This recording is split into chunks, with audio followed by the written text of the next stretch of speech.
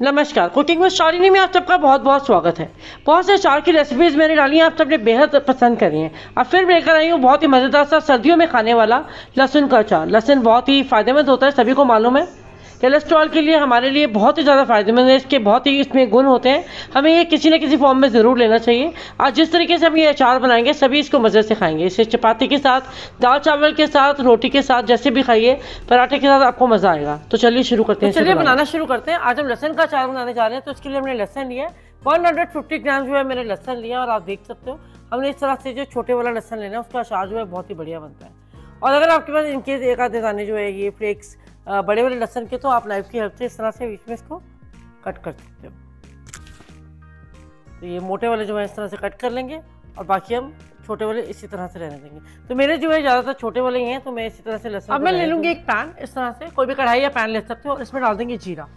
तो जीरा हम डालेंगे बिल्कुल छोटे चम्मच के मेज़रमेंट से जिससे हम खाना खाते हैं तो उस मेज़रमेंट से जो है हमने जीरा डाल देना और मैं जो है इसमें चार चम्मच जीरे के डाल देना और इसके साथ ही मैं इसमें डाल दूँगी धनिया तो साबुत धनिया लेंगे इस तरह से, और उसी स्पून के मेज़रमेंट से हम इसमें तीन चम्मच जो है साबुत धनिया के डाल देंगे। साबुत धनिया से जो है इसका टेस्ट बहुत ही बढ़िया आता है। इसके साथ ही अचार को और टेस्टी बनाने के लिए फ्लेवरफुल बनाने के लिए हम डालेंगे इसमें सौंफ। सौंफ इसमें बहुत ही ज़्यादा अच्छी लगती है। तो दो चम्मच हमने इसमें सौंफ के डाल देंगे इसके साथ ही हम इसमें डाल देंगे काली मिर्च। तो काली मिर्च हमने बहुत ज़्यादा इसमें नहीं ऐड करनी है।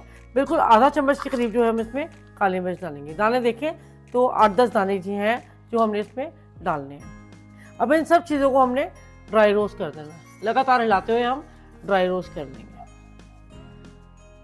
इसके अंदर, इसके साथ ही हम इसमें डाल देंगे मेथी दाना। तो साबुत मेथी दाना जो होता है, वो उसमें डाल देंगे। वो इसे चार में बहुत ही बढ़िया लगता है।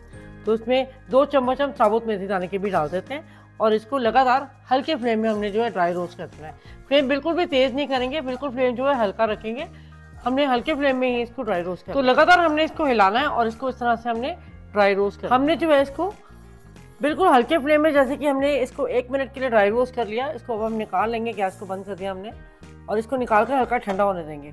हमने इसको तब तक करना है जब तक कि हल्का सा स्प्लटर ना हो। इसको हमने स्प्लटर नहीं होने देना है। अगर जीरा जो है हमारा ब्राउन होने लगेगा तो इसका टेस्ट जो है बिल्कुल बेकार हो जाएगा। हमने जीरे को बिल्कुल भी कलर चेंज नहीं इनफैक्ट हमने किसी भी मसाले का कलर चेंज होने नहीं देना है। तो इसको हल्का अब हम ले लेंगे मिक्सी का ग्राइंडिंग जार सबसे छोटा वाला जिसमें मसाले पीसे जाते हैं और सारे मसाले जो है हम इसके अंदर डाल देंगे। मसाले जो है हमारे ठंडे हो चुके हैं। इन मसालों को हमने इसके अंदर शिफ्ट कर देना है और इसको अब हमने पीस लेना है। हमने इसको हल्का सा दरदरा पीसना है। तो इसको इस तरह से हम तो ये मसाले हमने हल्के दरदरे जो है इस तरह से पीसने हैं। बिल्कुल इस तरह से हमने इसको पीसना है। ये आप देख सकते हो। हल्का हल्का दरदरा सा जो है, हमने इस तरह से इसको पीस दिया तो इसको निकाल लेंगे और अब हम इस मसाले के अंदर ऐड कर देंगे राई। तो ये राई हमने लिए तो काली वाली राई जिसको हम ढोकला को तड़का लगाते हैं, वही राई है। इसको हमने पीस लिया तो इसको अच्छे से पाउडर फॉर्म में हमने पीस लिया और इसको जो है हम इसमें डाल देंगे। तो मैं पिसी हुई राई इसमें डाल दूँगी दो चम्मच। दो चम्मच और ये आधा चम्मच और, यानी कि ढाई चम्मच जो है मैंने पिसी हुई राई इसमें ऐड कर दी। अच्छे से इसको मिक्स अब हमने एक कढ़ाई ले लेनी है और इसके अंदर डाल देंगे सरसों का तेल। तो कोई भी अचार आप बनाएँ सरसों के तेल में ही बनाएँ। और अचार इतना इसमें होना चाहिए कि अच्छे से जो है अचार जो जिस चीज़ का भी हम अचार डालें वो अच्छे से इसमें डूब जाए। तो एक कप जो है हमने सरसों का तेल ले लिया। इसको हल्का गर्म कर लेते हैं। जैसे ही सरसों का तेल थोड़ा सा गर्म हो जाए इसके अंदर डाल देंगे आधा चम्मच हींग। हमने तेल को बहुत ज़्यादा गर्म नहीं करना है हमें जलाना नहीं है इसको। नहीं तो इसके जितने भी न्यूट्रिएंट्स हैं वो ख़त्म हो जाएँगे। आप ये मत सोचें कि इसमें स्मेल आने लगी ऐसा आने लगेगी ऐसा कुछ भी नहीं होगा। इसको इसके अंदर डालते ही। हम इसके अंदर डाल देंगे अपना सारा लहसन। इसको हम अच्छे से इसके अंदर मिक्स कर देंगे। गैस का फ्लेम हल्का कर मीडियम कर देंगे और मीडियम फ्लेम में हमने इसको अच्छे से जो है इस तरह से मिक्स कर लेना हल्का हम इसका कलर चेंज होने तक इसको जो है हमने पकाना है ताकि ये हल्का सॉफ्ट हो जाए। यह अचार बहुत ही टेस्टी होता है और लहसन के बहुत ही फ़ायदे कोलेस्ट्रॉल को कंट्रोल करता है। इसके साथ साथ वेट लॉस के लिए बहुत अच्छा है। ये हमारी बिल्कुल भी चर्बी को बढ़ने नहीं देता है और बहुत सी चीज़ों के लिए जो है ये फ़ायदेमंद है। लहसुन हमें किसी भी फॉर्म में लेना चाहिए और इस तरह से अगर हम बनाएँगे तो लहसुन का अचार हम बनाएँगे तो हम जो है इसको आराम से खा भी पाएँगे, हमें बिल्कुल भी खाने में दिक्कत नहीं होगी। ये देखिए, इस तरह से हमने इसको लगातार हिलाना है और पका लेना है। गैस का फ्लेम बहुत तेज़ लगे तो उसको हल्का कर दें और हल्के फ्लेम में जो है हमने इसको लगातार हिलाना है। फ्लेम मेरा बिल्कुल हल्का है और हल्के फ्लेम में मैं इसको लगातार हिलाते हुए पका रही हूँ। बहुत ही बढ़िया सी जो है लहसुन की स्मेल आ रही है पूरे घर में से, खुशबू बहुत ही महक रहा है घर, लहसुन की खुशबू से। इसकी खुशबू जो है बहुत ही अच्छी लगी आप देख सकते हो हल्का हल्का जो है इसका कलर चेंज होने लगा ये देखिए। हमने बहुत ज़्यादा नहीं, बिल्कुल हल्का हल्का सा इसका कलर जो है चेंज करना है। और इसके अंदर अब हम डाल देंगे अपने कुछ मसाले। तो सबसे पहले हम डालेंगे इसमें नमक। तो नमक मैं इसमें डाल दूँगी तकरीबन डेढ़ चम्मच, यानी कि वन एंड हाफ़ स्पून इसके साथ लाल देगी मिर्च इसमें डाल देंगे। तो मैं दो चम्मच लाल देगी मिर्च के डाल दिए। और इसके साथ ही हमने जो भी, जो मसाला बना के रेडी किया था, वो सारा मसाला जो है हमने इसके अंदर ऐड कर देना। और इसके साथ ही मैं इसमें डाल दूँगी एक चम्मच हल्दी पाउडर।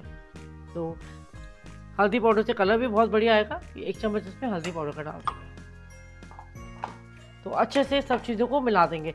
हमने गैस का फ्लेम ध्यान रहे कि इस स्टेज पे बिल्कुल जो है गैस के फ्लेम को हमने हल्का रखना है। और अच्छे से इसको मिक्स कर लेते हैं।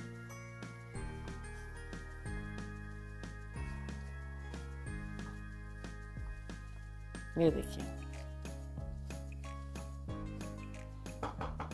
तो आप देखोगे कि कुछ ही देर में ये जितना भी तेल जो है सब पी गया। तो इस स्टेज पे हम इसमें डाल देंगे थोड़ा सा सरसों का तेल और। तो आधा कप हम इसमें सरसों का तेल और डालें। तो इसके साथ ही हम इसको मिक्स कर लेते हैं। इसके साथ ही इसमें ऐड करेंगे वन थर्ड स्पून के करीब जिंजर पाउडर या पाउडर यानी कि सौंठ का पाउडर और इसके साथ ही हमने इसमें डाल देना है एक चम्मच से थोड़ा कम, यानी कि आधा चम्मच आप कह लीजिए, इसमें हम अमचूर पाउडर डाल देंगे। तो सब चीज़ों को मिला लेते हैं और गैस का फ्लेम बंद कर देंगे। इसके साथ ही इसमें, इसके साथ ही इसमें डाल देंगे विनेगर। तो एक बड़ा चम्मच मैंने इसमें विनेगर का डाल दिया, ज़्यादा नहीं डालना है, एक बड़ा चम्मच ही डालेंगे। ये प्रेजर्वेटिव का काम करेगा और अचार को हमारे लाइफ देगा। ये इस तरह से अचार बनाओगे तो अचार जो है जल्दी करे, ख़राब नहीं होने वाला है। तो ये लीजिए, अचार हमारा बन गया है गैस को हमने बंद कर ही दिया था। और अब हम इसको निकाल कर मैं आपको दिखाती हूँ। तो लीजिए, ले लेंगे कोई भी एक बोल। और ये देखिए, अचार देखिए आप कितना बढ़िया लग रहा है। इसकी रंगत आप देख सकते हो, कितना बढ़िया लगता है ये।